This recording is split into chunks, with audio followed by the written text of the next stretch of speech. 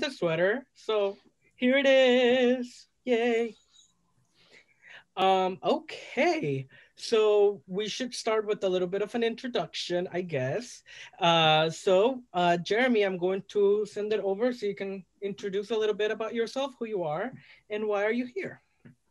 Cool. Thanks, JP. Uh, so my name's Jeremy or Jer, uh, like share and bear, trying a new thing out. We'll see how long it sticks. Um, I use any pronouns. I'm at the School of Theology at Boston University, and I'm doing my, I just finished my first of two semesters of my Master's of Sacred Theology. So exciting. And there's, I know everyone here has some uh, relief around this time of year. I can feel that. And also extra stress. We're all over the place, complicated. And we, I had this wild idea to do a video event that uh, JP, you fabulously hosted last time, the Queer Art of Reading and Resilience. And then BU gave us more money.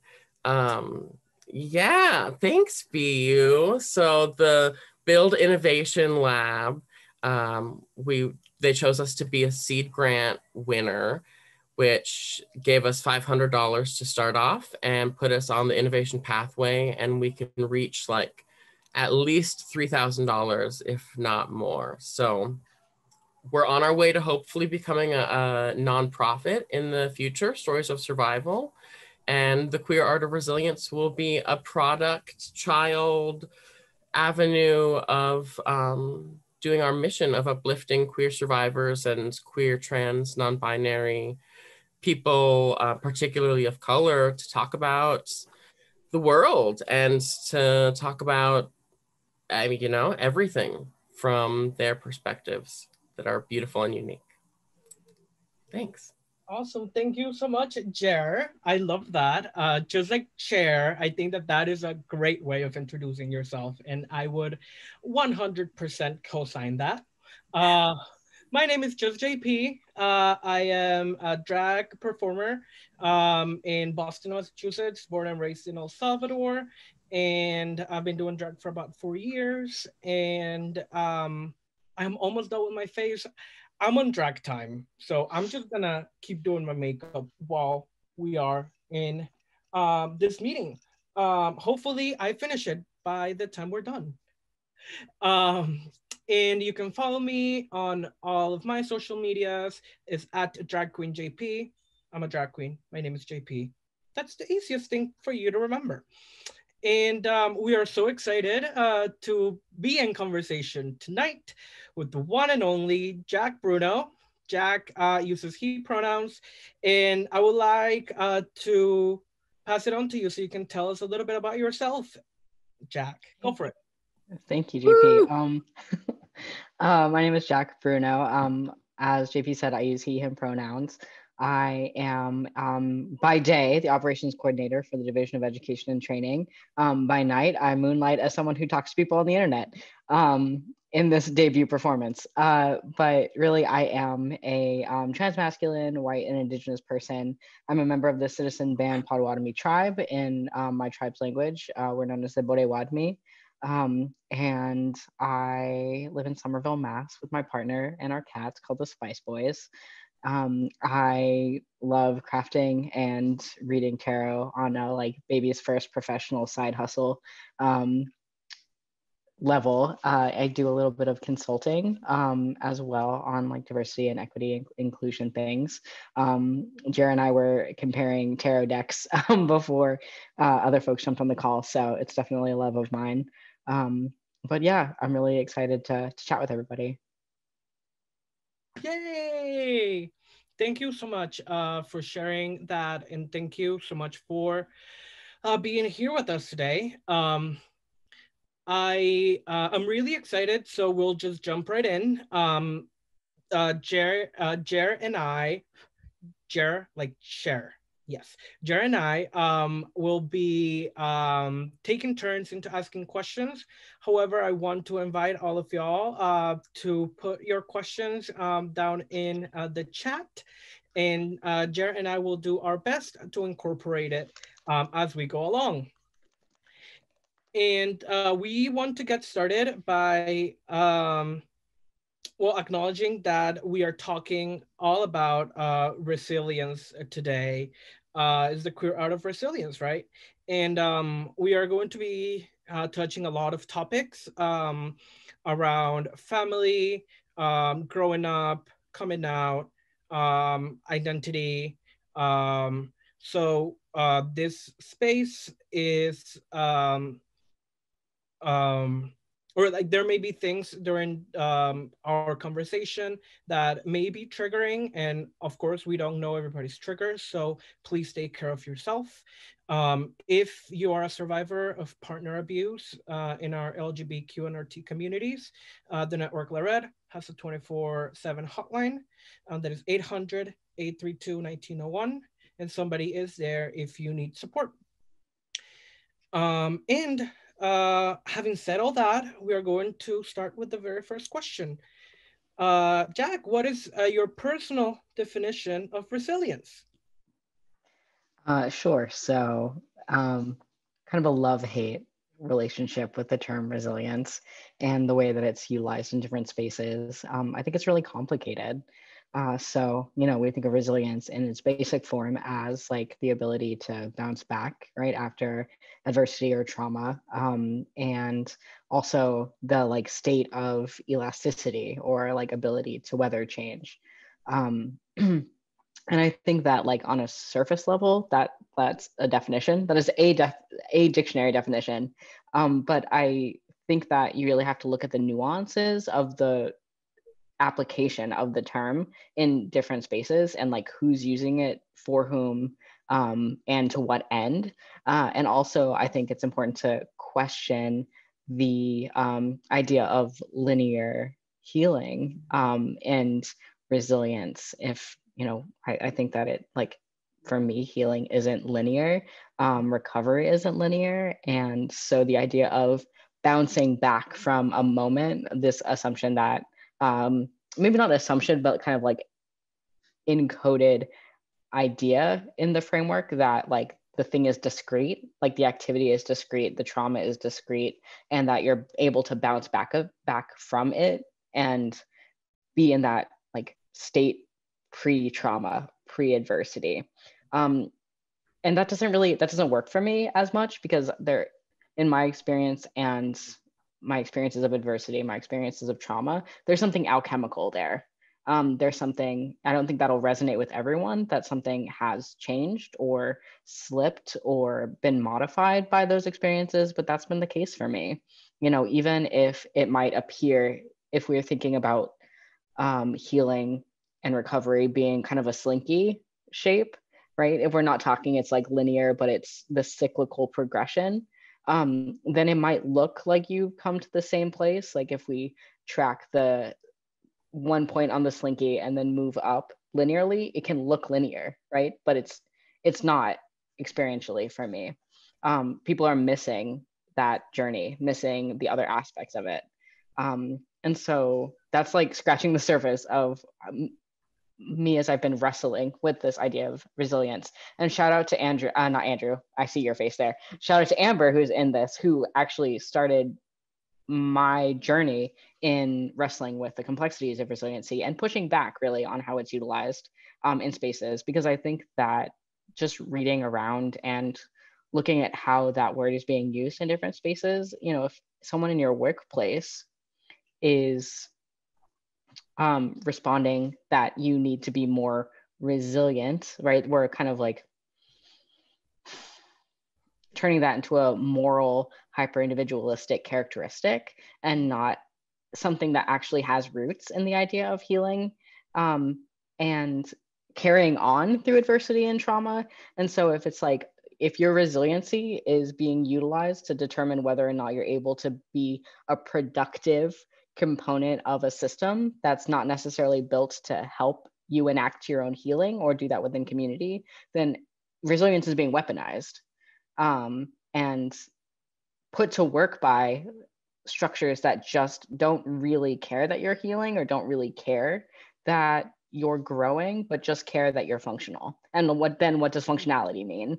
Um, and what does it mean to then pathologize folks that are symptomatic or aren't able to really like fit the hegemonic idea of what resiliency looks like and what does healing look like and what does wellness look like. So i think it gets into a lot it touches on so many different aspects.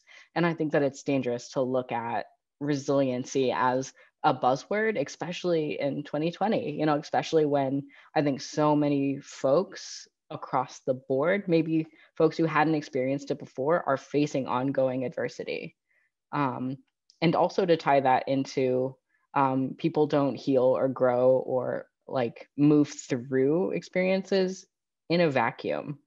And so, what resources, what additional structures of support, what additional um, places to rest did people have to get them to a place that other folks can recognize as resilient? And what's the scale? I guess, like, what's the temporal window at where we're gauging someone's resiliency? Are they resilient a week after a traumatic incident? Are they resilient six months out of getting out of something that was more of like a chronic stressor? Are they 10 years out? Is the person who doesn't experience, say, PTSD after an acute incidence of trauma, are they more or less resilient than someone who was system- symptomatic for 10 years and is now experiencing greater healing, greater growth, and great, greater what we would say resiliency? You know, so I think it's all a moving target. long story short, is complicated.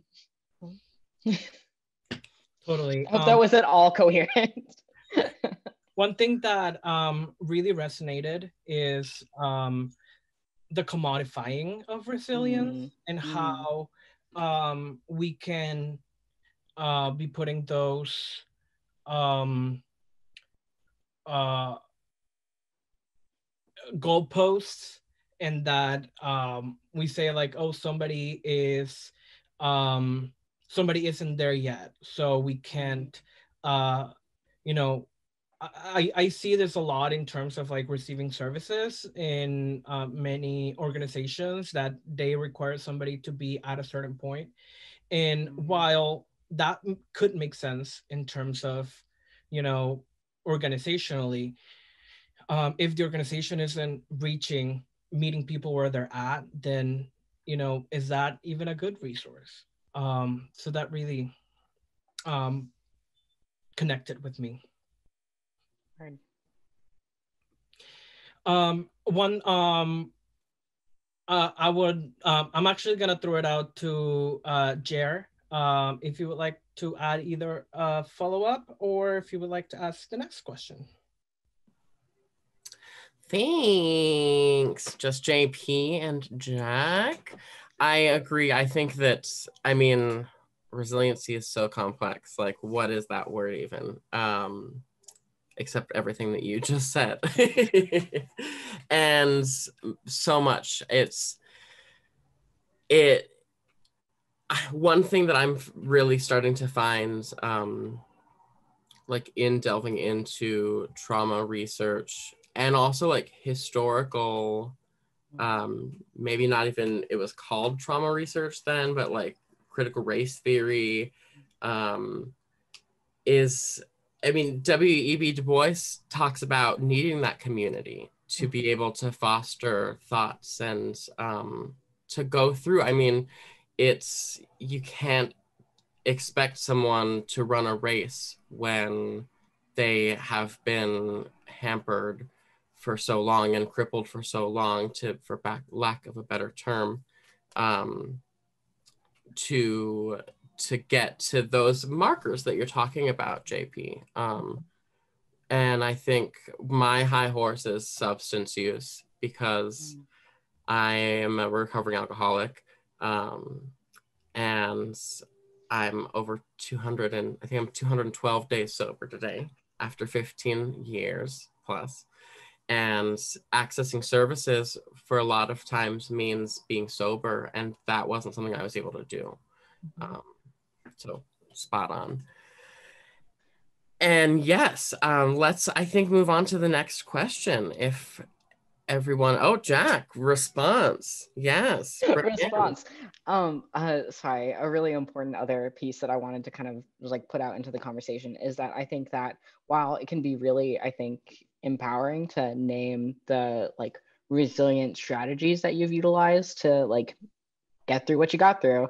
Um, that conversation, I think, on a cultural scale, can shift the focus onto lionizing people who have gone through what they went through rather than interrogating the structures that created adversity, right? We know that like some adversity is just things that people will experience as humans, you know, the death of loved ones, etc. Um, but some are very specifically rooted in oppression and like systemic stuff that needs to be interrogated and pushed against. So having the conversation around like resilience built through systemic oppression is not the the like goal there isn't then to like historicize people have survived a system that needs to be changed and shifted. So i think that like there's a kind of a romanticizing element of like the strength of oppressed people to like get through what they got through without questioning or wanting to disrupt the things that they experienced because of structures of inequality. So that's my that's my other thing. I just think that it's important to name that too. Thank you. I'm so glad that you named that because that's it's so true. It's a very slippery slope where what is survival for someone can become like I mean we, commodify it into how can we profit off of someone's survival and so that's why we have like alcohol marketed towards people at pride i mean they're the biggest sponsors there's a reason because that's tools that have been used to oppress not just mm-hmm. even queer people or trans people or non-binary people but everyone mm-hmm. an underserved population alcohol has right. been a weapon um, and other substances just i mean trail along in that path of like seeking oblivion sometimes. Right. Or having and having those experiences co-opted in order to be someone else's inspiration porn that then is weaponized against your own community. Mm-hmm. and having that be like well look how resilient they are. You know it's the it's like the emotional bootstraps. So mm-hmm. i just like exactly. um, right and really like nobody should be um nobody should be uh telling you know you're res- you're resilient or you're not other than that person mm. you know like mm-hmm. resiliency mm. is not right. really something that uh can be measured um, from the mm-hmm. outside um, many times because we don't know all of the things that are going on in someone's life. Mm-hmm. Um, yeah, totally. And did people get by for reasons that aren't characterized under resiliency as we've have it, have it defined you know the ability to like be optimistic and all those things that i think that you have kind of a corporate like training around resiliency. What if they got through just in spite of it all? Like to spite it all. What if anger was the driving factor? What if you know like you know whatever motivating thing got you through that situation may not fall under the neat umbrella of you know these like psychological characteristical traits. You know i know that there are times that like i survived to spite people and like not individuals but just like systems that wanted me dead. Mm-hmm. and so you know what what then? What if it's like i you know rage carried me through in some places and that's not pretty. It's not that's not teachable in a boardroom. Mm-hmm. um totally I'm an uh, Aries in case it isn't apparent. um, I want to um, uh, break a little bit from uh, the scheduled questions and read a comment, um, if that's okay. Um, uh, say, I'm hoping that I'm saying K, like the letter K. K, there you go. Thank you. Uh, Kay uh, mentioned that um, have you encountered any challenges where you are more resilient than is expected? And what happened? If so, um, Kay, is it okay if I read your example? Thank you. Uh, for example, following a traumatic event in my life, I didn't experience the challenges people thought I should because I was not exhibiting the appropriate level of distress. Resilience uh, was not attributed to me. And the assumption was that I was either lying or somehow exhibiting another pathology. I uh, have had many people tell me uh, which of my experiences should be the most upsetting rather than letting me define that based on my actual experience. Um, thank you. So I'm going to repeat the question that you asked at the beginning. Um, have you encountered any challenges where you are more resilient than is expected? And what happened if so? Yeah, Kay, thank you. Um, Kay is like such a thoughtful, incredible person. I'm a big fan. Um, but I think that like you you nailed it there. You named it. Like not being able to define your actual experience. It's like how you know people can't tell folks how to grieve. There's no one standard way to grieve someone or something. And I think that um, reactions to trauma, reaction, reactions to adversity, I think are are the same. There's no universal way because your body is going to process it differently. Your mind, your soul, your heart, everything's going to process it differently. And folks can only rank those or weigh in on where they think they should be on some appropriate like trauma reaction scale based on their own pos- positionality. You know, especially if they like haven't experienced that trauma or something parallel, right? They're only really approximating what they might display. And it's not even necessarily about you like your in, internal landscape and reacting to that, it's your expression of that. And so I think so many things shape our understanding of what appropriate expression is. I mean, like cultural differences, gender differences, like there's so much to that. Um, so don't let nobody like define your experience for you, A. Um, but I think for me, it's been things don't feel for me resilient in the moment. Like it feels kind of awful. It feels rough in the moment. It feels this isn't something that I want to be experiencing. It's not, you know, like I'm gonna I'm gonna get through this and mm-hmm. um and it's gonna make me it's gonna build my character. It's like no, this is shitty and I wish it wasn't happening. Mm-hmm. Um like I would I would it's only after the fact for me. It's only retro retroactive that I'm able to be like, hey, I grew through this some of it's scar tissue and some of it is the ability to like give way in ways that i wasn't capable of before because i think resiliency gets coded as toughness and grit and the ability to just power through. And that's such like a single story thing right? And so coded in terms of what values are in that mm-hmm. you know? Like gendered assumptions around you know individualism and individual ruggedness and all of those things that for me don't resonate culturally. I'm a very soft boy.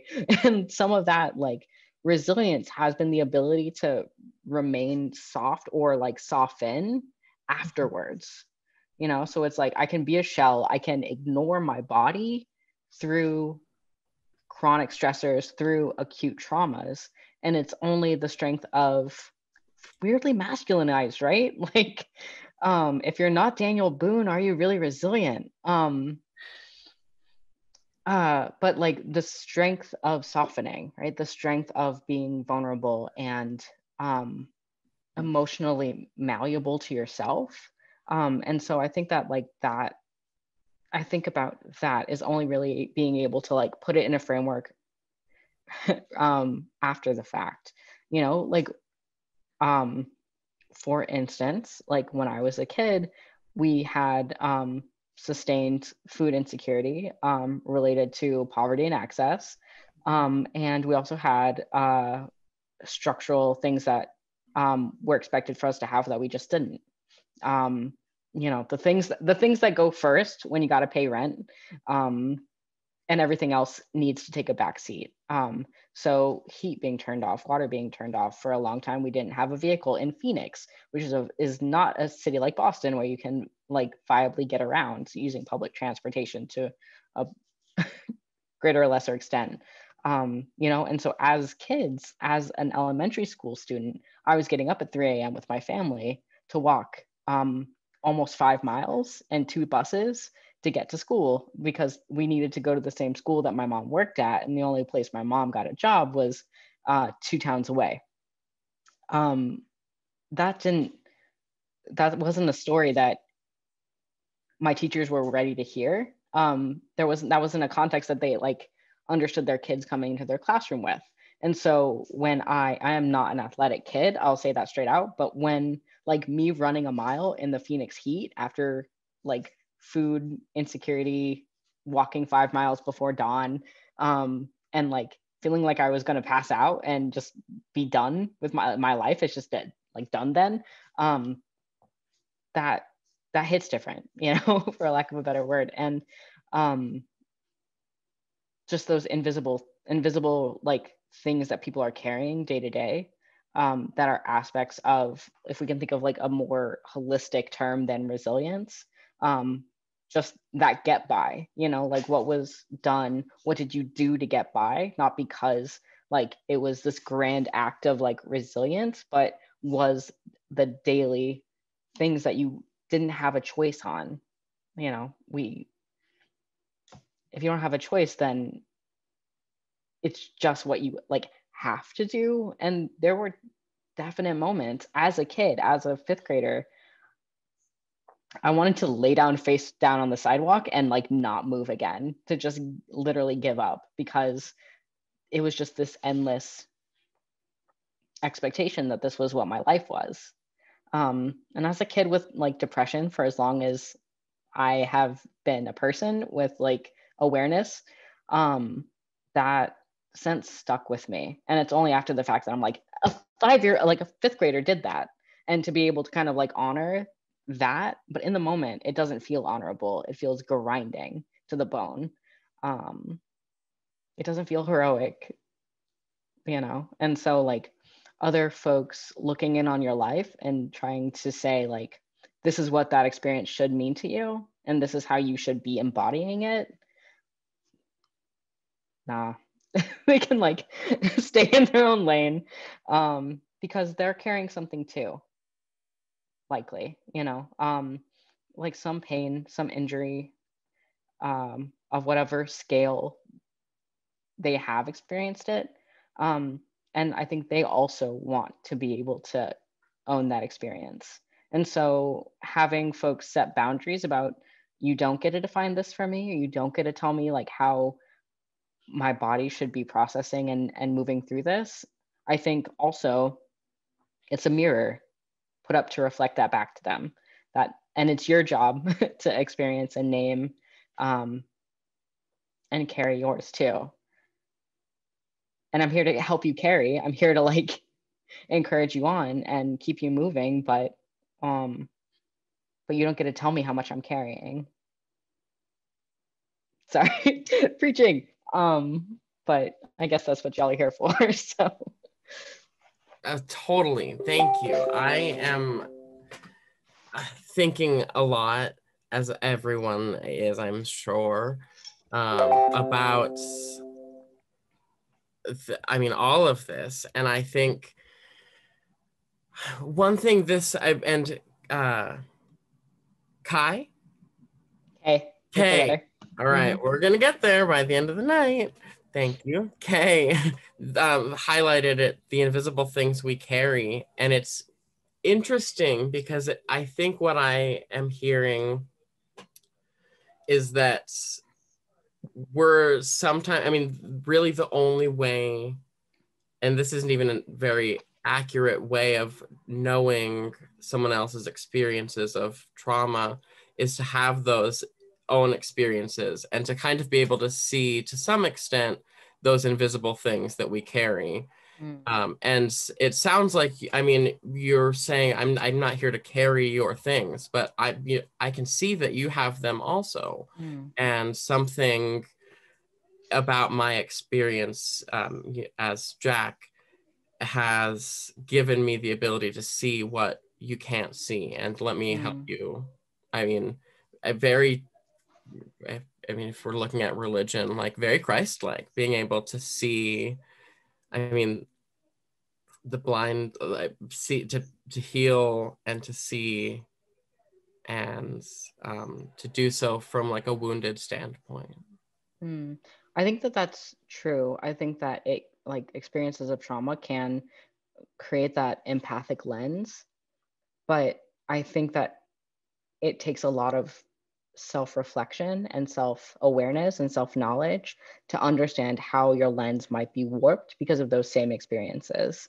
So I I don't think I don't think experiencing trauma makes you across the board like unilaterally a, a better person i think that that's a really important narrative to push back on um, because experiencing trauma means that you experience trauma and that that's it you know but like the places you go from that the ways that it does or doesn't change you the ways that it does or doesn't change your relationships with yourself and other people that's all the complexity right that's human variation um, there may be some observable patterns but um, having that like empathic lens, it also can go the other way, right? Like we can get sharp too. Um, and I've I felt that myself, where even in a moment, if I can see someone else's suffering or see someone else's like trauma reaction, that doesn't necessarily mean that I'm any more or less capable of connecting with them. Um, that's something to work on too, you know, because like the protective spiky coating um, can get in the way sometimes, right? I think that it's really important to know. Um, we talked about, you know, triggers and like knowing those about yourself. We have to hold those and honor our boundaries around what our triggered responses are, what are places where we no longer really feel um, safe or receptive to hearing things are. And that's a lot of a lot of self knowledge and a lot of self awareness because even if I can see your pain and it like resonates with me, um, that reson that resonance might be um, connecting, right? We might be like vibing, but uh, through that shared experience, but it might also just be pain. So protecting yourself and honoring that potential connection, but not leaning into it as something that's inevitably going to be good because it might not be. Right. I mean, I'm in the, my first year of, uh, of, social work school, so I'm obviously trying to like leverage that um, that like empathy and wanting to show up for and with people, um, and like witness and facilitate people's self self growth and like involvement and and healing. Um, but I think it's um, I don't I don't want to be unkind, so it's not naive, it's not misled, but it's missing the whole view to just say because i hurt i understand you're hurt too and mm-hmm. that's going to be a helpful dynamic i think you have to make it intentionally a helpful dynamic otherwise i think that there's a lot of pain that can happen in either direction so yeah and that um it's not we're not there um at any given moment um as you were saying about your uh, experiences growing up and having mm-hmm. to get up at 3 a.m. Uh, and walk five miles, um, I will never claim to be able to understand that, right? Mm-hmm. Um, because it's not my experience. However, mm-hmm. I can what I can do is I can empathize and yeah. I can um, try to put myself in your shoes. And the last thing that I would want uh, is for anyone to say, "Oh well, I had it worse, right? Yeah. Um, or do like the Olympics of like, oh, right. you had to get up at three. Well, I had to get up at two thirty. I'm like, well, yeah. not good for you, but you know what I mean? Yeah, yeah, and I think that like, there's, I hope to a place to get get to a place where like, like empathy isn't. I mean, we can talk about compassion fatigue, but like empathy and honoring each other's experiences isn't a limited resource you know there's like we don't have to play the like trauma olympics because um we can you know we can work to like see and witness and like hold that and hold space for that. Um because i think that like having being seen for those experiences um like that's just my life. It does you know like the things the trauma the adversities whatever that's just life. And so many people are also carrying that. I think validating it without being com- without it being competitive without it having to like race to the worst experience um lets you like just sit with that and be like yes you had sorry i lost myself a little bit. Um something i think just empathy not being like a limited resource. You know we can all sit with this together and we don't have to have the exact same experiences in order to to be in community or be in a healing space with each other. Right. And knowing that there will it will take time for many of us to recognize that we had to be resilient um, because mm-hmm. there are many things that happen in our lives that it, it just happens. And we have to deal with them. And um, it's uh, not only is it after some time has passed in which we're able to reflect back and say like wow that was shitty. That was hard. And wow i got through that. So again like it's um um it is nobody else's um position to talk about um our history of resilience right mm-hmm. um, I also want to say once more thank you to everybody uh, who's here. And I am seeing a lot of things uh, in the comments, uh, in the chat. Um, and for people who are watching this on the rewatch, if there's a rewatch, thank you for staying with us. Um, yeah, um, uh, Jer actually just uh, share something in, in the chat. Um, would you mind uh, sharing this with us? Go for it. Sure. I was, um, you know, I was just asking. It, it, this came to mind while you were sharing. Um, can trauma and resilience, as we're sort of dissecting the the words, can they ever be considered tools to use in overcoming identity politics and mm. coming together as a collective? for some sort of greater equity and transformation. Um, mm. I'm thinking about how the really the civil rights movement and queer liberation are, are so deeply intertwined mm. and that there was a recognition of that um, for people who were important who were i mean like bayard rustin saw mm. the the importance of being a black gay man and that those two identities among many identities were inherent to his being and needed to be expressed in order for him mm-hmm. to truly live um, and that i mean he was huge for um, for the civil rights movement and and so i wonder what kind of for everyone but especially mm-hmm. in this convo what y'all think. Well, Jack, what do you think? um, yeah, no, I think this is a really great question. And I think that um, it seems like a useful strategy, right, for like mm-hmm. collective engagement, because I think if we're able to like hold and honor that um, I experienced XYZ, and here I'm thinking like not like specifically about the like systemic adversities um, linked and traumas linked to systems of oppression, but I think that we can talk about it as like the human traumas and adversities as well.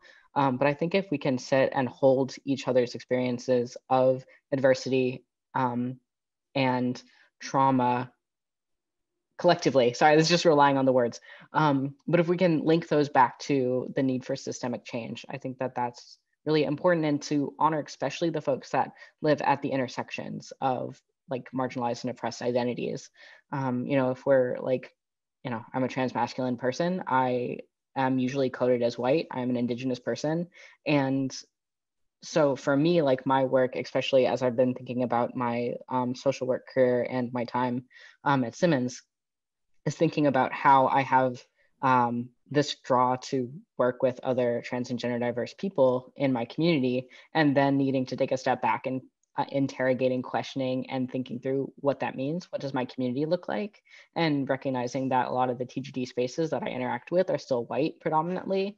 And we know that um, disparities faced by TGD BIPOC are like significantly higher even than white TGD folks, that mm-hmm. whiteness still has, um, is still a protective factor um, in naming people's experiences and likelihood likelihoods of experience specifically um, racialized uh, gendered violence um, and so how do we center the experiences of um, individuals who are st- statistically and significantly more likely to be carrying ongoing trauma and be facing the kind of chronic stresses that we know um, occur under systems of oppression. And so I think that there's kind of this like molecule model of um, centering the folks that are carrying disproportionate amounts of trauma and then the electrons of people who are working through that as well right? And like um thinking about okay so i'm like i i do a lot of thinking about like physics and how that can be used as um metaphors in thinking through things like intersectionality. Uh, Steph, who is on the line, has heard me talk about my prism understanding of intersectionality before, but um, if we're thinking molecularly or atomically, like, you know, the electrons are jumping fields based on their energy level or their charge at any given point and they're cycling right like and ions happen when you have an, um, an atom that takes on a negative or a positive charge anyway um, the point being that like it's a structure where people where elements are moving based on energy flow and moving based on like what the individual electron has to give or take and it's centered around the nucleus. So if we're like thinking about um, working collectively for equity and transformation like what little like charge are we bringing to the center and then falling back when we need to take care of ourselves? And how are we stepping forward and moving back um, keeping that like nucleus um, mm-hmm. at the center and um, neutral, right? And neutral, I mean like, um, how can we create protective factors when like systemic oppression denies those from for the people at the center? Mm-hmm. Um, thank you for humoring my metaphor. Um, so yeah, I think that resisting the urge to um, play oppression or trauma Olympics um, and understanding that we're not facing these things like to push back against the hyper individuality of experience and think about collective trauma think about cultural trauma um, and how the things that we experienced right and the narrative of resilience that we've carried with us can be like alchemized transmogrified into resistance and wanting to say like no other people don't get to experience the the chronic adversity that i did mm-hmm. if it's something that is um, able to be pushed back on. You know it's the it's the like i want to remove the barriers in the next person's way. I'm going to clear the path as much as i can as i go. Um you know like how do we make it how do we make it less hard for each other and making sure that like we're we can keep walking too? Like how can we walk together knowing that we all have to go you know? Yeah. Um it it, it doesn't make sense personally to me um when i hear folks um who are our elders in our different identities say well you have to go through this because i did. Mm-hmm. um mm-hmm. and um and i think that it's um i think that it's uh, I think that it's unfair um, to have uh, to not challenge those systems if we have the opportunity to challenge those systems. Right. Um, because folks are going to have their own experiences and they're going to have their own hardships. Mm-hmm. Uh, they don't have to have the same hardships as one did. And um, I, and what, I, go for it. I'm so sorry. Just I think it's so important what you're saying, and why why is trauma a rite of passage mm-hmm. for certain identities? Why is trauma a rite of passage, or something that is just codified in being of that identity? Um, acknowledging the fact that right, like a lot of us are carrying intergenerational trauma. Mm-hmm. Sorry, JP. Please finish your thought. I just wanted to like lift that up. No, total. I mean, you're the one getting interviewed. Uh, I was the one moving things along. So why is trauma a rite of passage?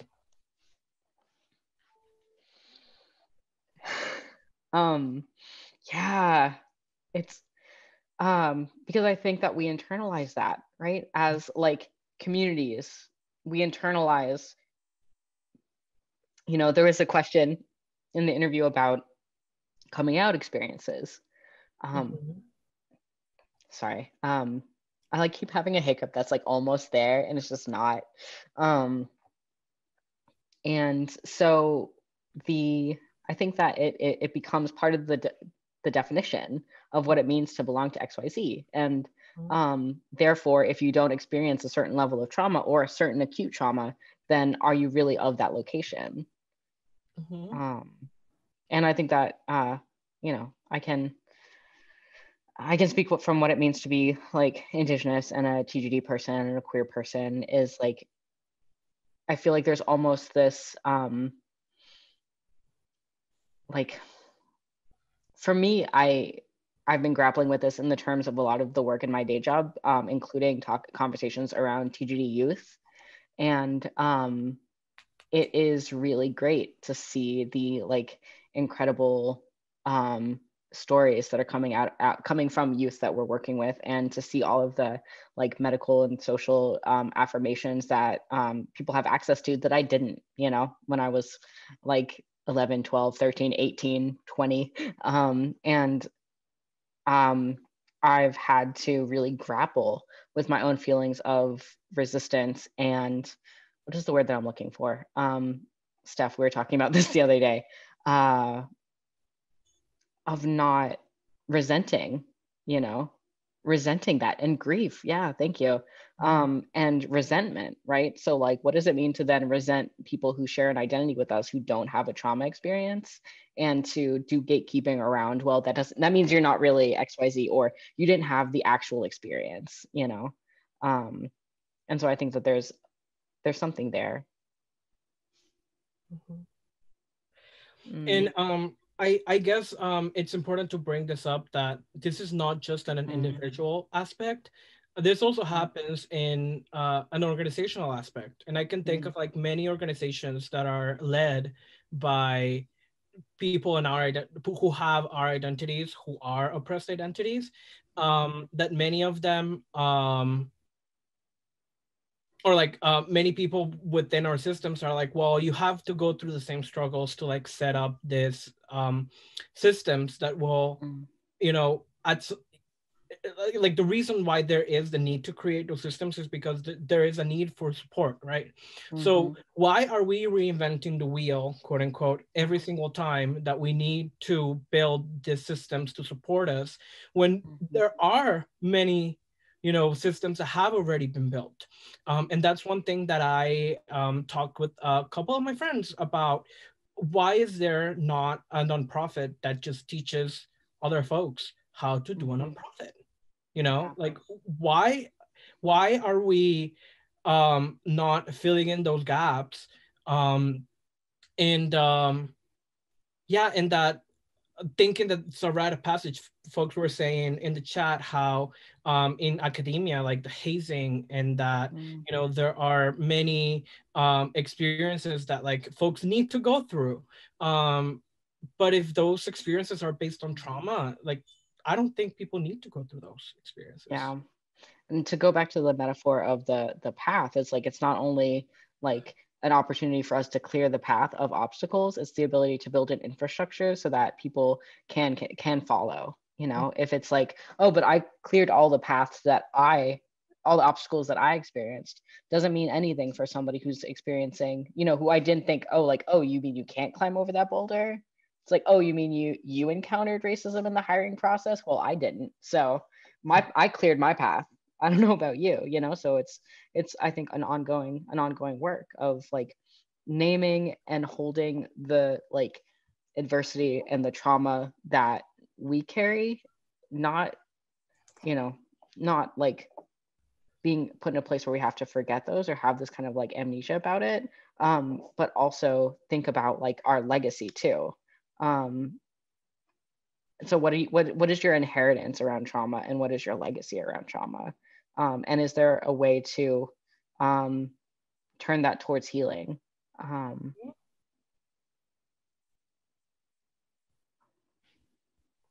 a hundred percent.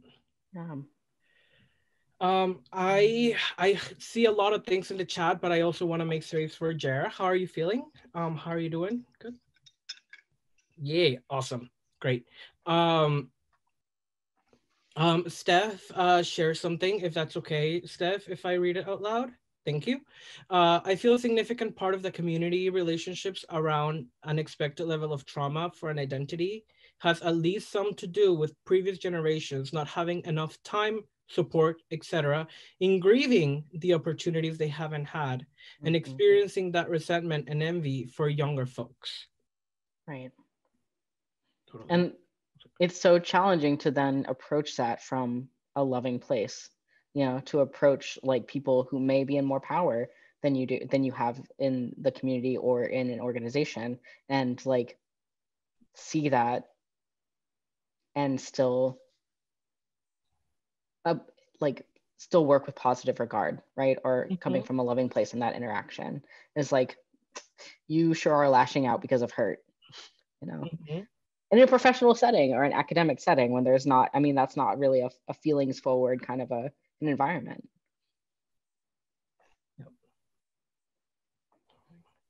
And that can be avoided, you know, it, it doesn't mm-hmm. have to happen that way. And it's difficult to then also push back on those because there is this idea of like, well, you have to respect your elders, which absolutely you have, we have to respect everyone who's around us, right? Not just our elders, everyone. And um, I think that that expectation of like you can't um you can't challenge something without being disrespectful is something that we mm. definitely need to move past um mm. because it is needed it is needed for us to be able to make um waves and be able to confront the things that we need to change we need to change yeah is it okay if i move us um to um, yeah, is it okay if we move us to another question that we had pre-prepared? Let's go for it. Awesome. Um, and I think that um, you have already touched on this uh, as most of the conversation that we've had uh, is around community. What, what role has art and community played in your life? Yeah, that's a really great question. Um, I am not much of an artiste in the capital A artist sense. Um, but when I was thinking and reflecting on this question, one thing I will say is that um, moments of isolation are times when I have really relied on um, the art of others as a way of just not feeling so alone. Uh, the the pressure and the stress of being the only blank in a room, um, and not necessarily feeling like I had access to um, you know, maybe a pan tribal community, much less like community within my own tribal group.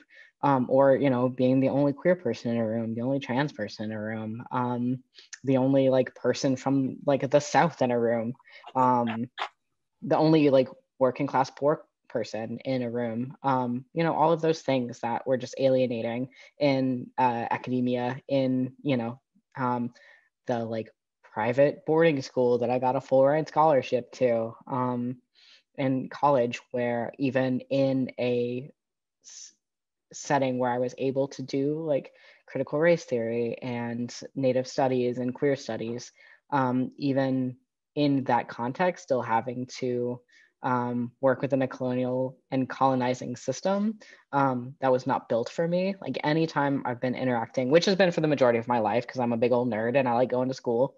Um, anytime I've been isolated, right, I like pick up like Harjo and I I read. You know, I like pick up Almanac of the Dead and I cry for three weeks. um, you know, like I um, find solace in like the written word and in music and like shaping like embracing community or perception or just home you know i mean i know that there's like a lot of yeah sources of solace um like there's a lot of stuff around sherman alexie um i think rightfully so like there's been a lot of community like conversation around him. Uh, he's not unscathed, I think, and um, so it got complicated. But um, the second semester I was in high school, I went from going to school on the reservation in Arizona, not um, my tribe's reservation, but um, the White Mountain White Mountain Apache res, going to school there, moving 2,000 miles away by myself to go to this private boarding school because essentially my family understood that like if you stay here, you're probably going to drop out of school and it's not going to be a good. We just can't, you know. So like um, and that is subsequently what happened with my three siblings. Um, you know, I'm a first generation student, and my siblings didn't have the kind of structural or structural support or resources that they needed to finish high school under the like anticipated four-year track. So I fly 2,000 miles away and go to this boarding school in Wellesley, Mass. Everyone, I'm just gonna say that. Um, an all all girls boarding school, um, completely different, like class culture, completely different geography, not a saguaro in sight, um, com- like completely different climate, even like the air is different, the skyline and the horizon is different. Um, and I picked up a, um, a Sherman Alexie book and reading through, I could hear like the voice of people that I had like no longer could see in my day-to-day life, you know? Um, and the same thing happened when a person um, from the South who had worked actually with MLK um, came and spoke to us. Uh, it was like a big keynote speaker. Um, and just hearing someone who sounded like my family, someone whose voice and timbre and speed of of diction um i again i cried because again a very soft boy um but moments like that. So even when I didn't have a like in real time physical community and it was a really lonely time, um, I could find solace in like the art. Um, some of which was handed down, you know, um, Zitkala Sa, like narratives around um, going to a boarding school, like the genocidal boarding schools um, in the US that indigenous communities were really ransacked by a whole generation of people um, experienced these like traumatic institutions. And reading her work about surviving um, boarding schools while being in a very different boarding school but experiencing like that level of homesickness loneliness and alienation drawing those parallels and noting the differences was also really crucial so um, and I've been really lucky in the last couple of years to have had a further integration of my efforts and the community spaces that I really have been hungry for for years. I, you know, work with a number of folks who are TGD um, and a number of queer folks. The majority of my team, you know, I feel exceptionally lucky to be in that space now and to be able to have both this like expressive art community. You know, I still have the books on my shelves. Um, I still go back and read Stone Butch Blues on occasion and cry and think about how my life is different um, since Leslie's uh, writing. Um, and then I hop onto a Zoom call and I get to work with um, co-conspirators on making the kind of changes that hopefully mean that like people like me don't have to be as lonely as I was. Um, so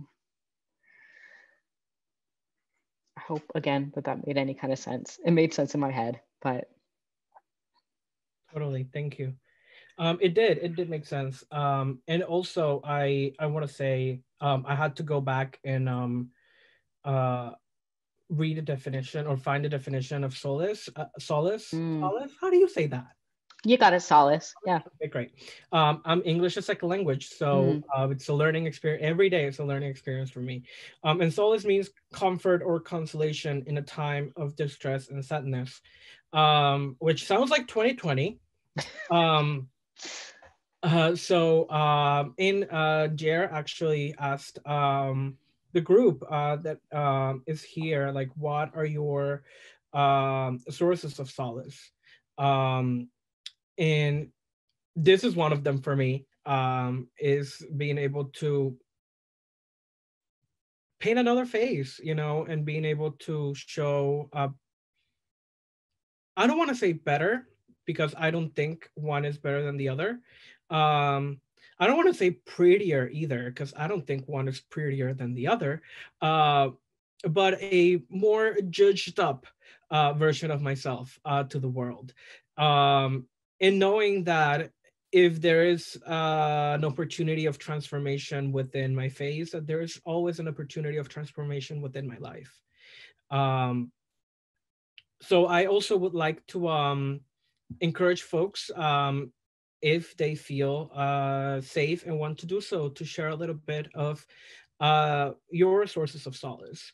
Um, and this uh, goes into the other question that we had prepared is um, how is resiliency resonating with you, um, Jack, going into 2021? Okay, I'm going to put a little epilogue on the community conversation because, um, Go for it. you know, healing isn't linear. And when we're chatting, my conversations will not be linear also. So sorry.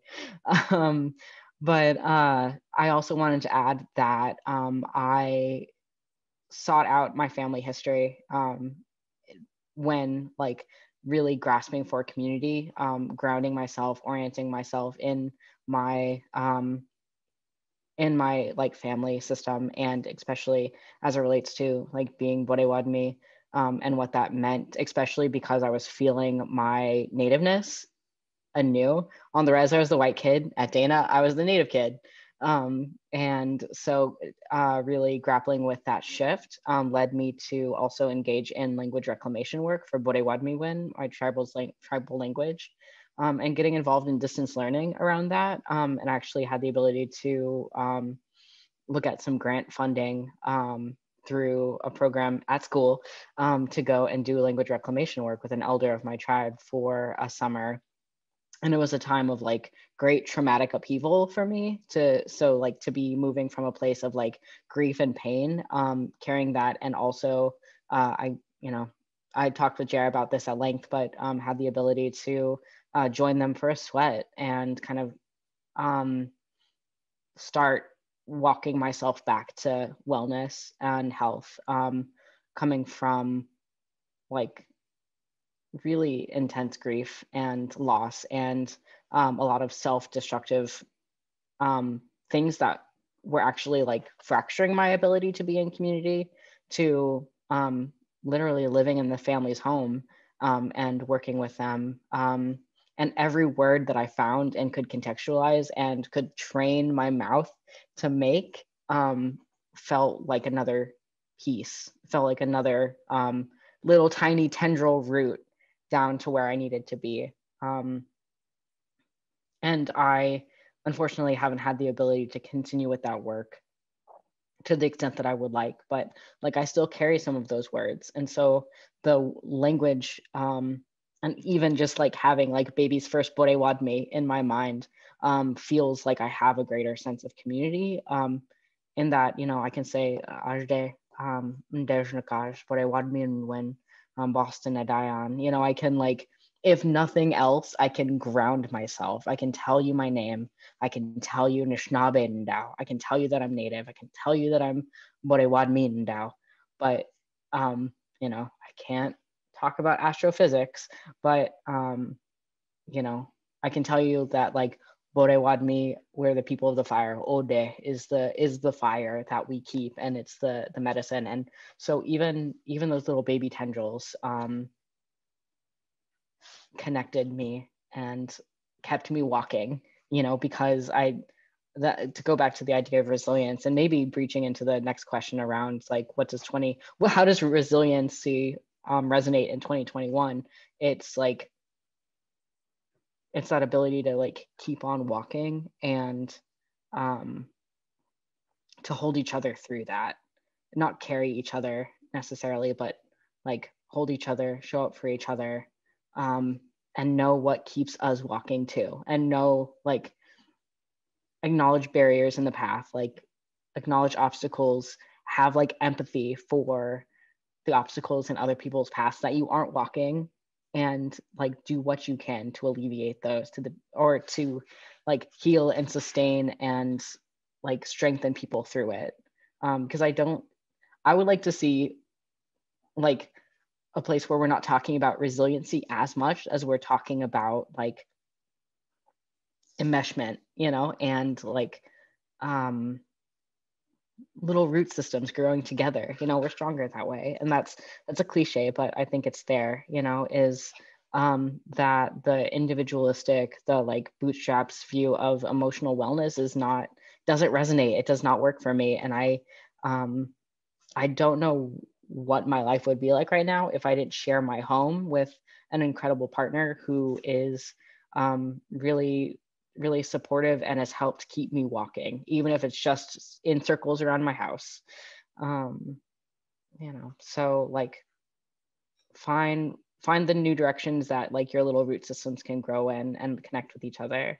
Because I, you know, if we, I wrote, the, I read this really cool book this year about um, uh, systems and underground networks, and they talked about um, uh, the mycelium that runs through the forest floor, the mushroom systems, fungal systems that connect trees, and they can connect trees of different species actually. So this birch might be hanging out with this maple, um, and they can talk to each other and warn each other of, of threats. Um, and if a tree is injured, they'll actually, Star Trek Discovery went into that, amazing. Um, so cool. Uh, so and if a tree is injured they'll actually the system will reroute nutrients to that injured injured tree until that tree is no longer responsive and has died or has healed or fought off whatever infection or illness it had. So find yourself a little mushroom tangle and join it. Because i think that's how we get through this.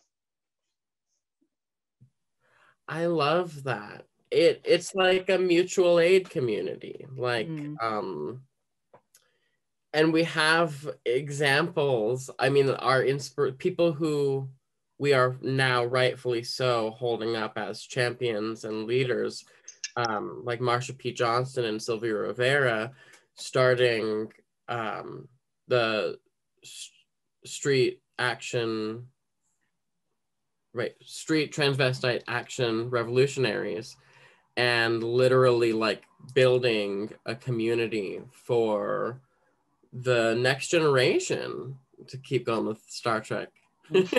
um, but I mean, re- literally, um, building a foundation and having a, a roof and a home um, that was paid for by survival sex work.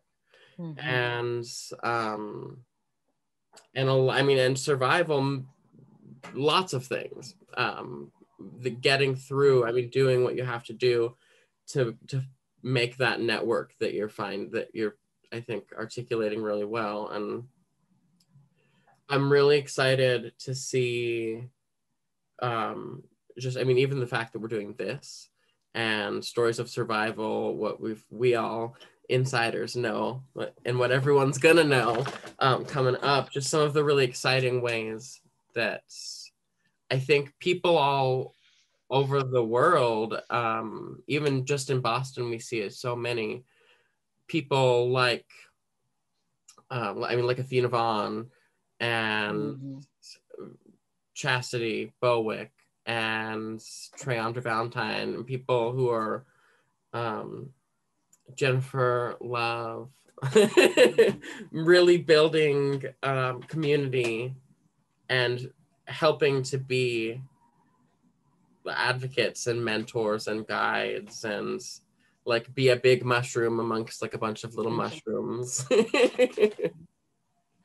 yeah, and I think that like mutual aid um isn't I mean, it's not a new idea, you know, like it's like I think that um you know that kind of like has a, a ring of like you know new like social activism um, in some ways, but it's honestly how so so many of us have lived for so long. So I think it's a reclamation piece more so than it is like a, a revolutionary idea. It's coming back home, you know, and like taking care of taking care of your people, however you define that. And I hope that people define that expansively, you know, because like, um, yeah, nurturing each other through this and through everything you know like i um, was reading a thing about uh, like communes and uh, like social experiments like that where people go off grid and go off and live together. Um, and it was talking about an aspect that I hadn't considered before, where a commune is a closed off space that's holding the outside world at bay and becomes a space where people are pushing against whatever system or structure that they're working against. But the like ideal being that there's not an out an external structure to push against, um, where like um, yeah, mutual aid, mutual support, and um, a, a sense of deep community isn't the exception or isn't something that needs to be gated off in a way that we see that sometimes these situations go really downhill because they become a microcosm of larger power inequalities and become a place where people are exploited. Whereas if something is not bounded then you know it it becomes just like the space of healing.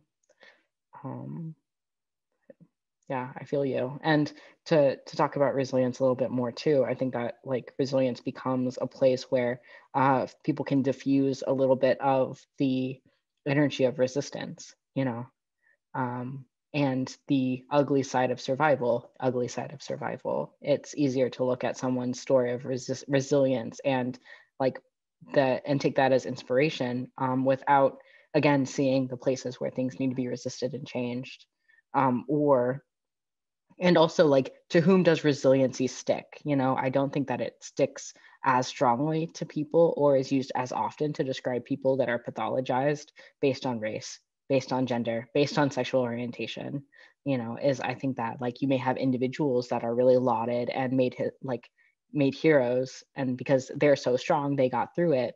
But i think that that doesn't extend to a community writ large you know like i am not a black woman, but because of misogynoir and trans misogynoir, like I don't know that trans black women get the get lauded in the same way for surviving in systems that like would really prefer that they not you know? So like if we're talking about resistance i think we also have to talk about survival and we have to have to talk about systems that are working contrary to people's survival while we're naming them as like strong and resilient.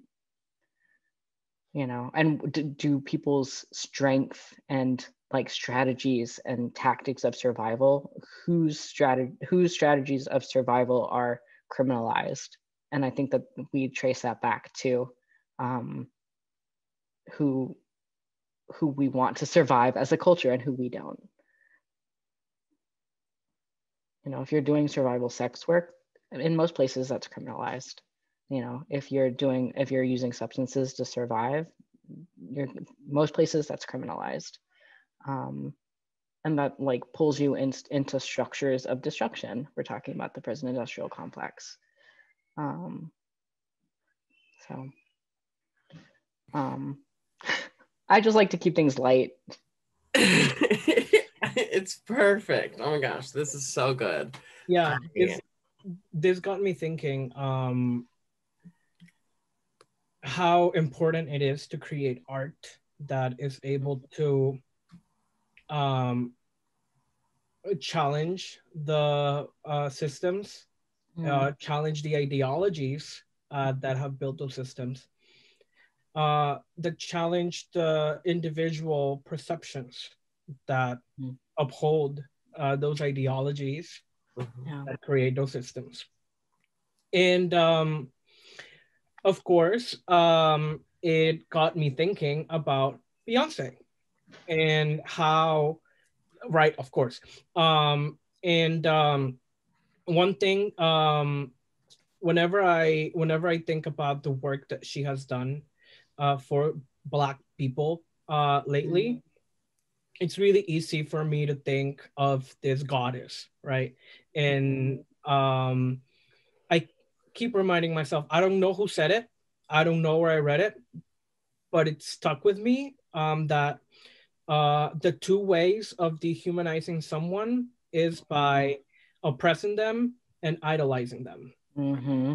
And ultimately, um, the work that many artists, including Beyonce, is doing, um, is a work of resilience and survival, and mm. is a work in which um, allows us. Uh, well, I should use I statements because I'm talking for myself. Uh, allows me as somebody who is not black to understand that, or not to understand, to approximate an understanding mm. of what it is um, to be black in America. Mm. And I see um, a lot of my fellow um, queer artists doing similar things. Um, mm. And to me, that also uh, reminds me that I have a responsibility mm-hmm. as an mm-hmm. artist. If I am afforded a stage, uh, whether it's physical or virtual, um, that I have a responsibility to go beyond the glitz and glam mm. and to tell my story because my story is important and i know that uh, my story can have a huge impact um, mm-hmm. to people who are like me like i i didn't have somebody like me growing up mm. um, and i'm thinking like how incredible it is that maybe I'm offering that to somebody else. Mm. But we can do that mm-hmm. in our day-to-day life. You don't have like we don't have to be artists to do that. Mm. Like um we in a sense I feel like we are all artists of our lives because mm. we all build it and we mm-hmm. shape it. Um yeah, so that's mm-hmm. uh that's a, a tangent that my mind went.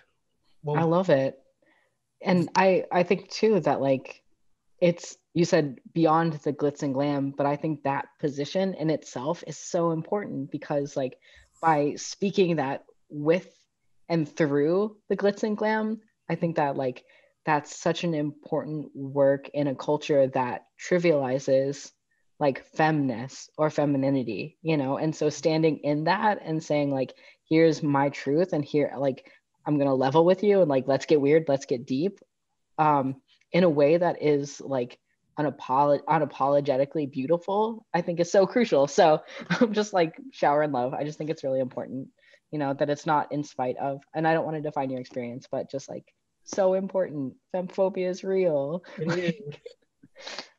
it is real. And I'm it is still single. Um, I want to again thank uh, uh, folks um, who are joining us on the Zoom uh, for being here with us, and also remind folks that um, if you have any questions, you're able to put them in the chat. Um, and if you're watching us on the rewatch, thank you so much for watching us and making sure that you uh, follow us for more things like this. Um, great. I um, would like to make space for you, Jack, uh, to just share a little bit more around. Um, I don't know if any of you um, see the show uh, RuPaul's Drag Race. Uh, and if you do, um, then you'll know that RuPaul loves to do this for the drama. But today I am doing this for uh, de-edification uh, and for you to share a little bit about if I were to um, if I were to hold up a photo of Jack, um, you know, when you were three, five, six, eight, um, what message uh, or what words would you leave Jack? Little baby Jack um, I was like, is this is this for the crowd? Is this for me? I'm not getting no, red on live Zoom. Okay. um, it's a really great question. Um, so is are these descriptive or are these like I'm like sending a like time travel message back to them? It can be well, I mean, right now it can be whatever you want. Um mm-hmm. acknowledging right that um this is a um yeah this is this is a this is an experiment um that beyond the drama uh when it's made in tv i think it's really important as we you know the same I, I feel like the same messages that or the message let me gather my words. Um, if we are leaving a message for a younger generation, then we need to be clear on what that message is. And um, what better way of uh, finding clarity on the message that we want to send than to say, you know, back when I was six, Mm. you know, I wish I had that message. I wish somebody had said that to me. Um, or back when I was six, somebody said this to me and it helped me push through. Yeah, thank you for clarifying. Um, I think that I would say something along the lines of it's okay not to know, you know, and like,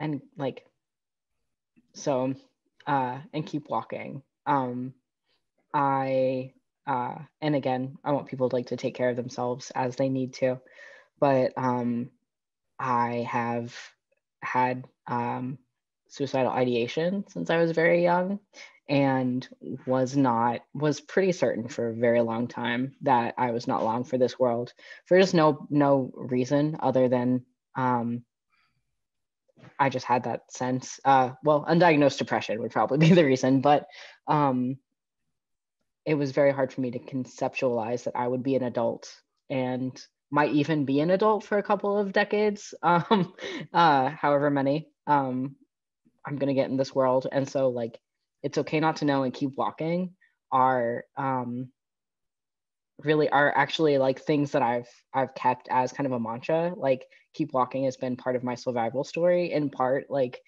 informed by the fact that um, you know as part of that like um, poverty lack of access things like oftentimes that was the only choice that we had. Um, and uh, so it's very maybe like cliche and, and simplistic but um, my life is also my identity has been one that's been really liminal and ambiguous um, forever. It, you know and i don't know that it will ever really resolve. And um, embracing that liminality and both the euphoria and the vertigo of having an identity that refuses to settle down um, and embracing the like the elastic really amorphous like delightfully unresolved queer identity that i have like not knowing and learning to love the unknown um yes la mestiza okay and Anzaldúa out here. Um love her so much okay. Um yeah speaking to that that like you're gonna walk it might be through shadow and it might be through light and just like walking is the walking is the reason not not where you're headed. Um but there's to be somewhere you know? Um so just trying to help them like understand that um there's a version of you that it, that survives Yep. you know Thank you. Uh, Jer, is it okay if I um, send that question back to you? Sure. I'm crying. I'm a mess. I cry all the time. Um, I'm not a mess. It's good to cry. it's really good to cry. We actually, it's very normalized in my household. And it's like we have our daily cries, not always together, but sometimes, I mean, usually not together, but we talk about them. It's funny. Funny darkness. oh, will you ask the question again? A year. Yes. I have a photo of Jer when Oh, you yeah. were four, five, six, whatever.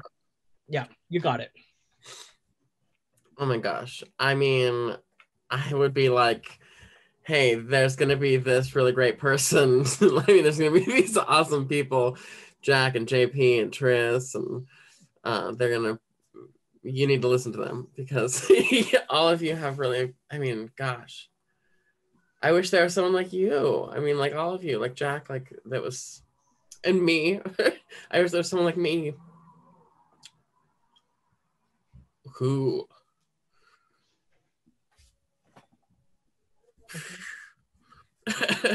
like saw. Yeah. And like was aware and like not just was aware but was like brave enough to intervene in some capacity. And i think that that's something that we as um like queer survivors are kind of told that we don't have we don't really have an ability to connect with god so how can we have the ability to connect with humanity? And so the things that we do for life and for passion and for survival and for um, like abundance are not viewed in the same light they're viewed as like not inspirational. Um you mentioned jp at a meeting recently um ballrooms and that liminal um great word jack structure that is a structure and that is an authority and that has rules and regulations and that will care for youth. And i mean we'll care for people of many i mean intergenerationally really. Um and will care for them by nurturing and you i mean holding people accountable.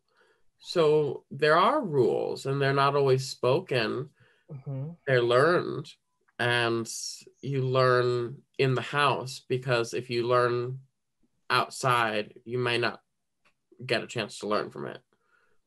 You might it might be your last time. So you learn in the house where you know you're gonna get maybe i mean you're gonna get reprimanded. You're, you're gonna get uh reading but it's gonna hurt your ego Mm. more than it's going to hurt your body. And that's important because your body is your art and your life and your politics and your future and your community's future and that we have to use those bodies and we are using them um i think that's why i love drag so much Mm. is that it is such a even with RuPaul where like having changed what like or not changed but expanding the question of what is drag and um, what is art and what is queer art in particular um, i mean narrowing it down even further what is like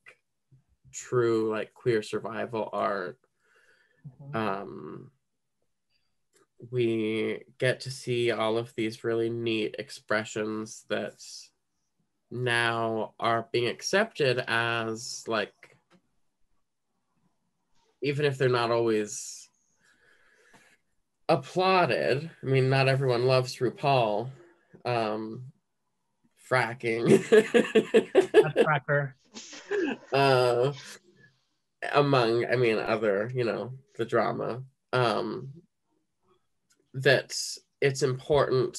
I mean we all acknowledge that RuPaul is a thing and that's power because that means that if RuPaul's a thing we can then uplift that to critique it to build from there RuPaul is not the end all. Drag Race is the beginning.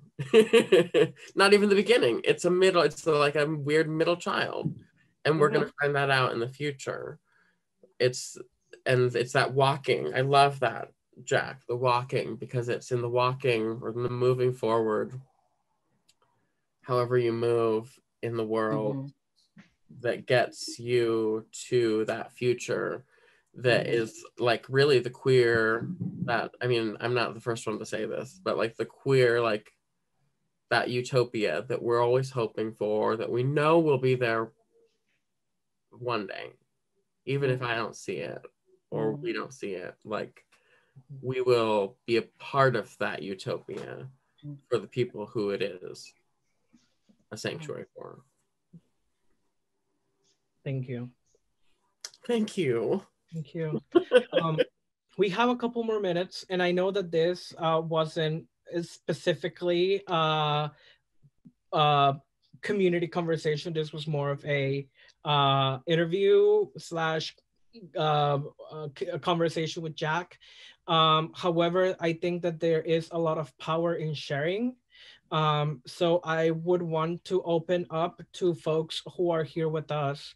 Um, if you would like to share with the group and um, and if you would like to share with people watching on the rewatch. Um, however, if you do not want your sharing to be included in the rewatch, just say at the beginning of your share, say just for the group, and we'll cut that out with the magic of editing. Um, but um, I want to open up to the group um, what message of resilience and uh, survival and um, yeah, what message would you would you have would you want to send to that younger you? Not all at once,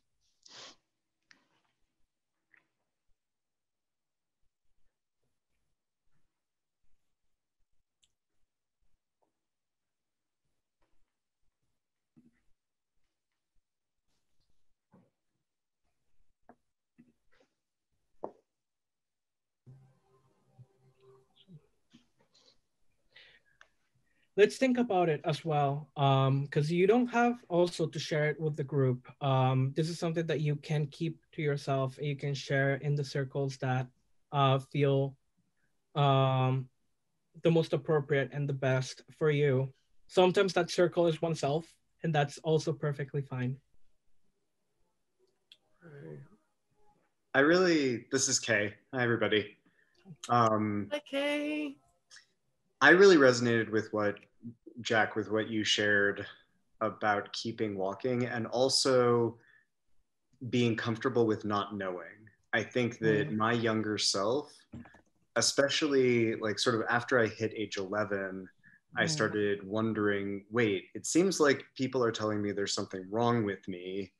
Mm. I don't feel wrong, but other things feel wrong. And I don't, I don't know quite how to cope with all of that. And um, you know, pre-internet and pre people being in the media, queer folks in the media, I was like, I have no words. I have zero language to define this. And I think um, I, it also makes me think about your comments earlier about how language itself can have this immense power both to heal and mm. also to be the way that you continue to walk. And honestly, I feel like I would go to my six year old self and I would be like, I have some education, I have some words, I've got some mm-hmm. stuff for you. It's like in a package, and we're just going to go through. And you're going to be like, I feel this way. And I'm going to be like, that makes sense because X. Or, you know, how do I tell somebody about how I feel and what I need? And it's like, oh, use these words. Um, and find this professional because even when I was young, there were there were people who could have helped me, and maybe it would have been really hard to get to them. I don't know, but it would have been soothing to know the words. It would have been helpful to be able to tell people with clear definitions so that I wasn't casting about so widely. I felt very much. Um, it felt it felt very much like a Plato's cave sort of a situation mm. um, in terms of having to go through the struggle of turning towards the light and deciding, okay, I'm going to walk towards that. I have no idea what it is. And um, to ease that transition and kind of building again on this idea of is that suffering necessary for us to go through to have full actualized identities and important presences in the world? And that's what I'd give to my younger self anyway.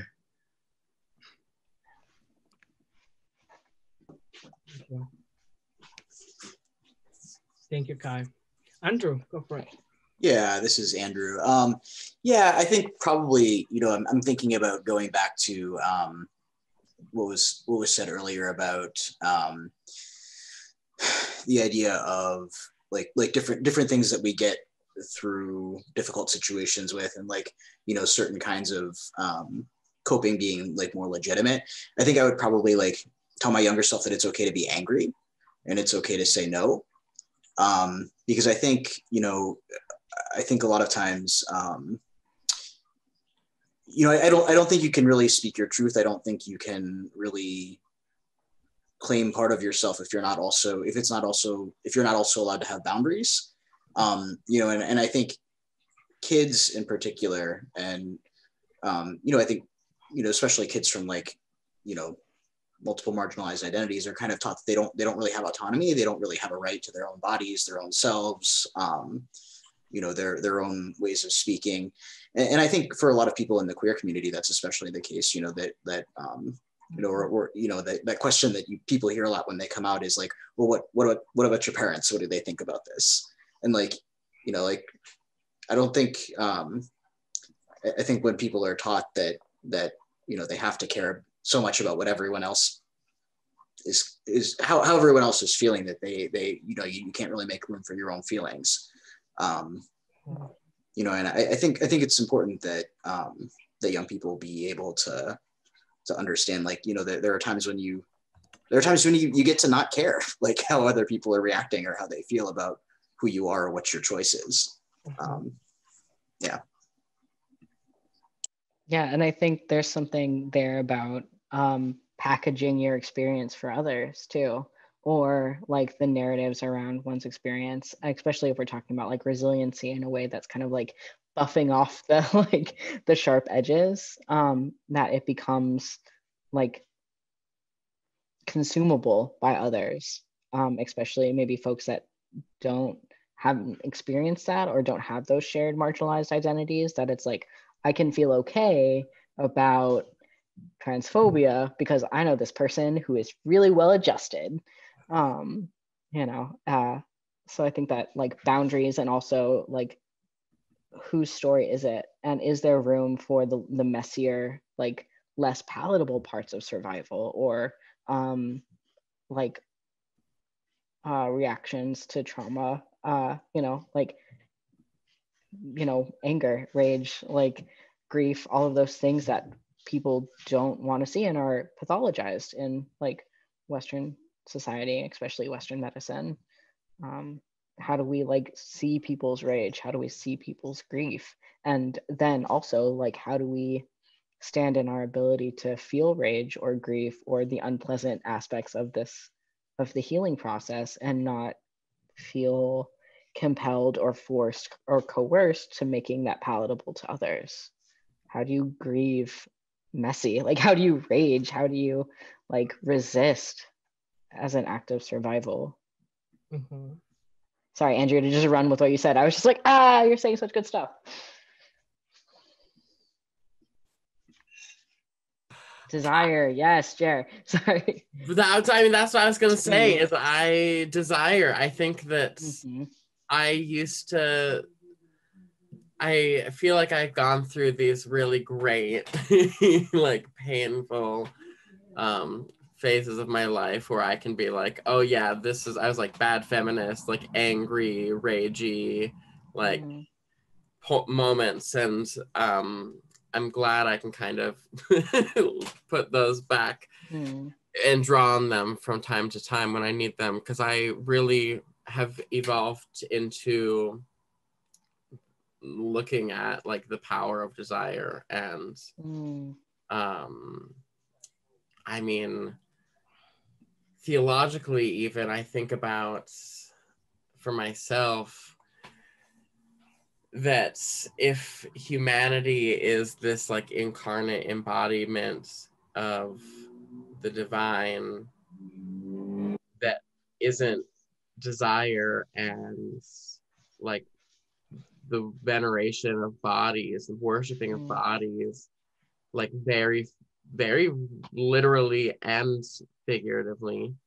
Um, isn't that like true, like prayer or mm. true devotional or, I mean, creating life? We, I, I think, think about creating life as a very heterosexual or heteronormative thing that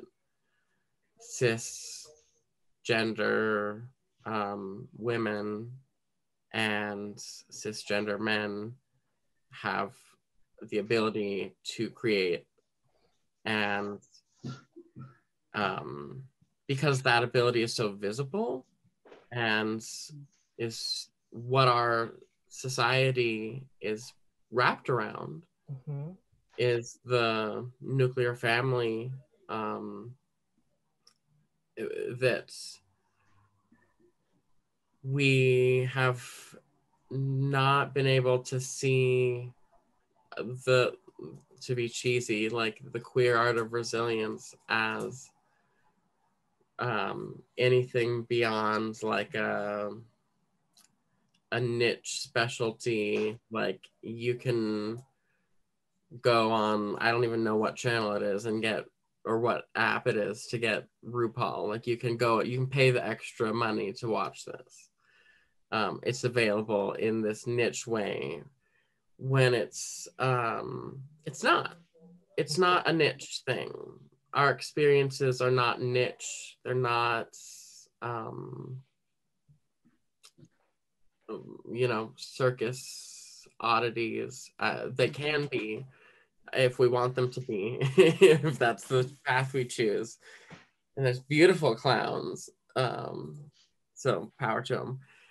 That that it's about uh, that our experiences of the world are just as real and valid and Mm. um, we create so much i mean i think that's what people are afraid of Mhm. inherently and maybe even don't know it is that like queer people of color are the most creative people in the world and their creation and their capacity to create is so much like aligned with survival and it's tragic and horrific and beautiful and I can relate in where varying ways, race not being one of them. Um, I am very white. And I, so it's, it's just, uh, I'm, we need to, to be able to hold these, we say like Black Lives Matter like what does that mean? What that means is that life that that that person's experience that person's reality and how they perceived the world and how they changed the world is and continues to be real. It was and is. And that it it doesn't need to change. The systems that are trying to bar that potential for creation. Because it's not even like the life is lived.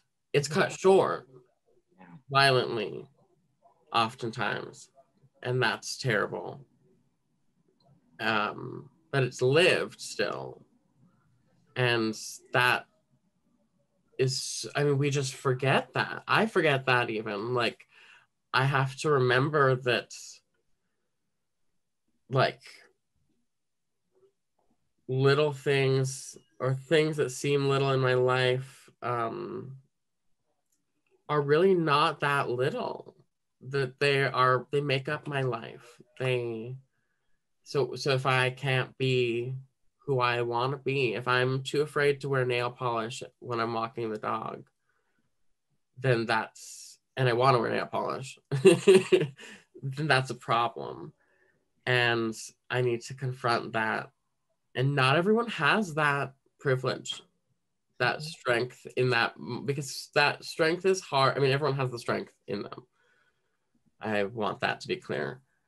Everyone finds it at different times. I'm 31 and I my life has been like 30 years of hell. 31 30.4 years of hell.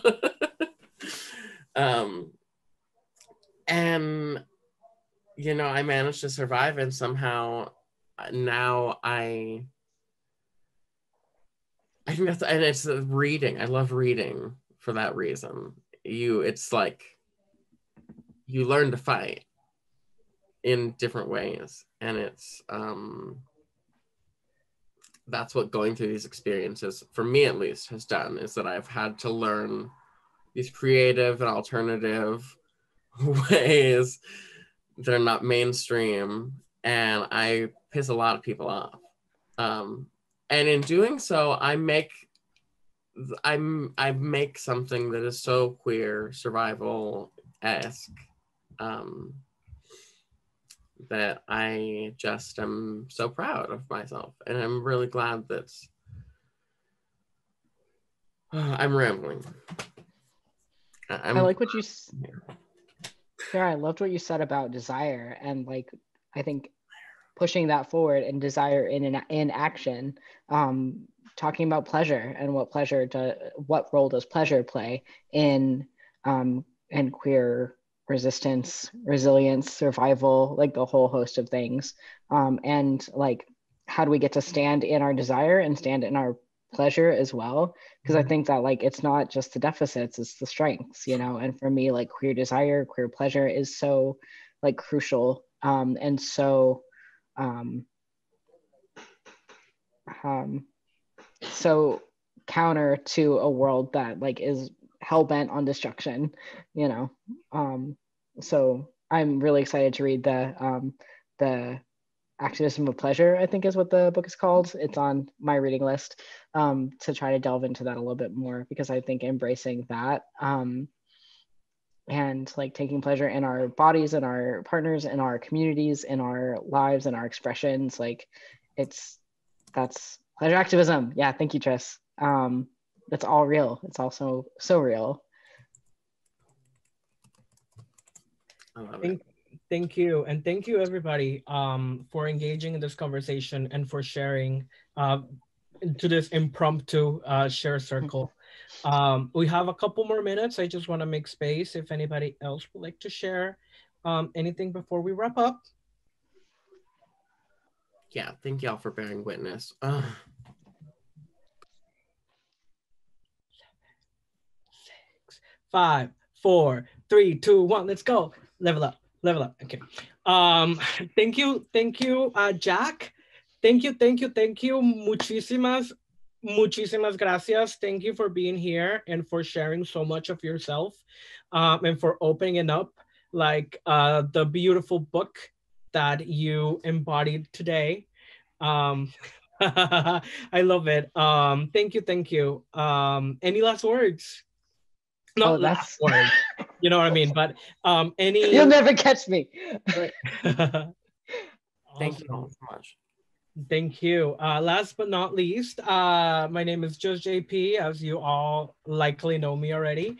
Uh, I um, I am on all social media at uh, Drag Queen JP, as I shared at the beginning. My name is JP, and I am a drag queen. Super easy to remember. All my social media, so Twitter, Facebook, Instagram, Venmo. Uh, the only one different is Cash App, where it's JP Drag Queen because for, for some reason I couldn't get the other one. Um, and if you haven't had enough of me, um, I will be doing a Christmas Eve show. Um, it's a Mariah Carey themed digital drag show uh, on the Serve Network, uh, which is on Twitch, twitch.tv slash the Serve Network. And uh, we will be uh, going live at 7 p.m. Eastern Standard Time.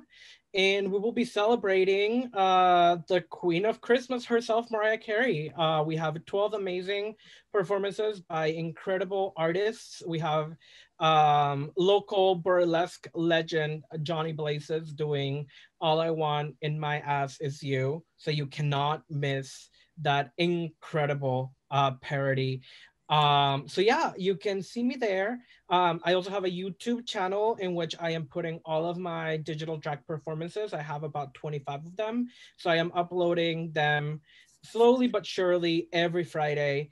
And this Friday, I am uploading the music video for my original song, Go Ahead. Uh, so you can catch that there as well. Um, again, my Venmo is at Drag Queen JP. Um, and uh, once again, thank you everybody uh, who has joined us today. And thank you everybody who is watching this on the rewatch. If and you like, what was that? And our sponsors, sorry. And our sponsors. Oh, good. Thank you for reminding me because Yeah. I would have completely forgotten. Uh, okay. Would, you- Sorry. would you like to shout out our sponsors? Just really quick, thank you. I'm so sorry, JP. I hate, um, HMM, thank you so much. BU uh, Innovation Lab, you rock. And then there's been just like lots of great community support. Even tonight, some of you paid for this. Like, Thank you. cool. Thank you so much. Um. If you So this- a nonprofit, So But- this is the end. Uh, thank you all so much uh, for uh, watching, for tuning in, and I hope you have lots of uh, blessings and love. Bye. All right, so here.